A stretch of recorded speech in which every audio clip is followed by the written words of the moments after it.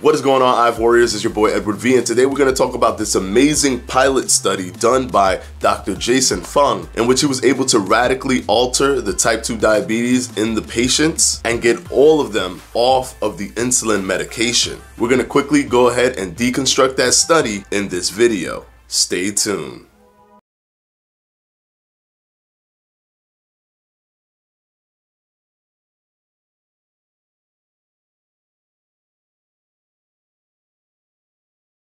All right, guys, one thing that I love about Dr. Jason Fung is that he continues to spearhead the movement of intermittent fasting within the medical industry. Like, I put up videos and I talk about intermittent fasting and I aggregate the information, but he's on the inside consistently moving the needle forward. And I'm sure that it must not be easy considering that many of his peers, which is many people in the medical industry, do not want to move towards that position of using intermittent fasting, therapeutic fasting to heal people or even tackle fasting for things like type 2 diabetes. But he continues to push forward within the medical industry to show that intermittent fasting or fasting, therapeutic fasting, can one day be a means to an end for things like type 2 diabetes and other health related factors. But now jumping into this study in particular, this study was a pilot study. And one very interesting thing is that Dr. Jason Did this without any grants, without any funding. There was no company or no business that put money into this funding. So it was done 100% through the Intensive Dietary Management Clinic that is run in Canada by Dr. Jason Fung. So this is somewhat of a pilot study as the sample size was extremely low. It was three adult males. It was a 67 year old male, a 40 year old male, and a 52 year old male. Each of them were not pre-diabetic, they were diabetic. They had type 2 diabetes, full blown type 2 diabetes. Now, a lot of studies have shown that intermittent fasting is effective for pre diabetes, but it's always been the case that people would say, listen, don't fast if you do type 2 diabetes. And even with that, there should be a disclaimer this is fasting done with medical supervision. So if you do have type 2 diabetes, before I jump into this video, still, even Dr. Jason Fung recommends to do this kind of therapeutic fasting within a medical supervised location. There are fasting clinics that do therapeutic fasting. So if you're going that route, please consult doctors that can assist you and do a medical supervised version of fasting. But these people had diabetes for a long time. The 67 year old had diabetes for 10 years. The 40 year old male was diagnosed with diabetes for over 20 years. And the 52 year old male was diagnosed with diabetes for over 25 years. So all three of them have had diabetes for a very long time, which makes the results of this study astonishing. One thing that they also tested was, of course, their blood glucose, their blood pressure. They also looked at their waist circumference and body mass index and compared and contrasted from the beginning, the first week, second week, third week, etc., etc. So they were looking at other health marker indicators that showed that the person's health was gradually increasing, as well as type 2 diabetes in and of itself was being eradicated little by little little. So they had to be very careful. They supervised them, they looked at all of their numbers, and then at a certain point, they decided to get them off of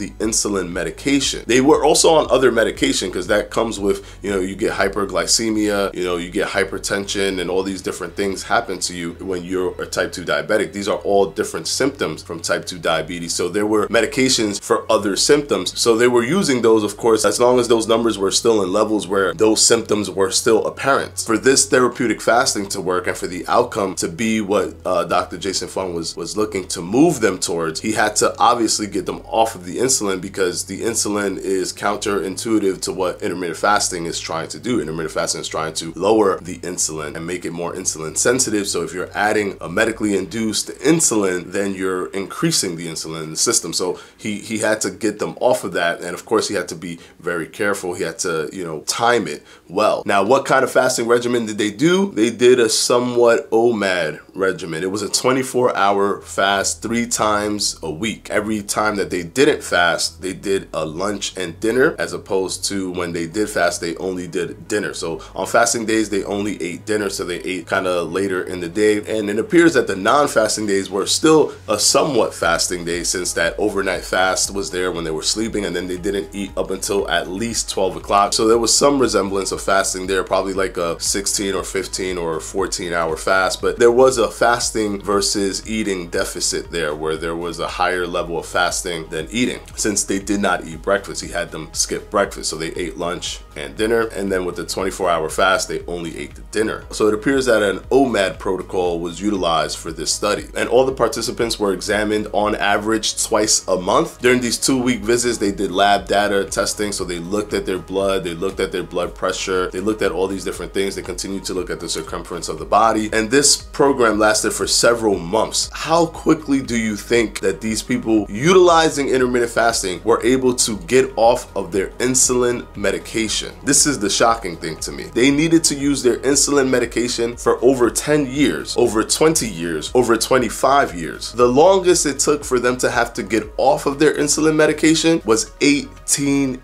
days, not even a month, 18 days. And there was one of the three that was able to get off of his insulin medication in five days. In less than a week, something that he has been doing for at least 10 years, he was able to get off of in five days using therapeutic fasting. Fasting for about 24 hours, three times a week, and doing a somewhat light fast on every other day. And before a week was even completed, his biomarkers allowed him to come off of his insulin medication. Not to mention, two of the three were able to come off of all medication that they've been using, period. One of them had a lot of other different complications in the body in terms of the type 2 diabetes that he had, which was the patient who had over 20 years being diagnosed with type 2 diabetes. But he got off of all other medications except one. So he was still using one medication based on uh, the biomarkers that he had. But everyone else, all the other two patients were able to get off of all of their medication, all of their symptom medications, and as well as getting off the insulin insulin itself. There was also no symptoms of the hyperglycemia found or reported in the patients during this process, which is amazing. And the HbA1c, hemoglobin A1c, which is a uh, blood pigment that is kind of bound to the glucose, that has an indicator of how bad type 2 diabetes is. Those markers improved in all three patients. And of course, their body mass index improved and their waist circumference reduced. Now, this pilot study is massively important because it lets us inch closer to allowing larger studies to happen because this is kind of showing that there's safety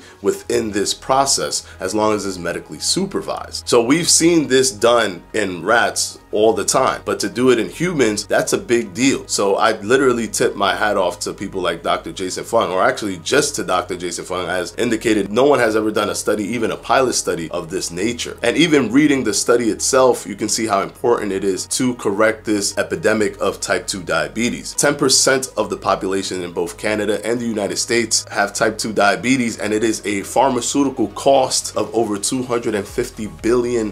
So finding an alternative alternative that is actually effective, that can tackle the root of the problem and not just the symptoms of the problem is an amazing thing. And it's amazing to show that intermittent fasting in and of itself can do that. So once again, I do want to stress that if you're going to try to uh, attempt this in any way, please make sure that you consult with your doctor. Please make sure that you do it in a medically supervised location for fasting. And there are places that exist that do medical supervised fasting. I want to thank Dr. Jason Fung for doing doing such an amazing work even without funding just because he has a passion behind the therapeutic fasting and intermittent fasting in and of itself. And of course, I want to thank my patrons from my Patreon and I'm going to put their names right up here.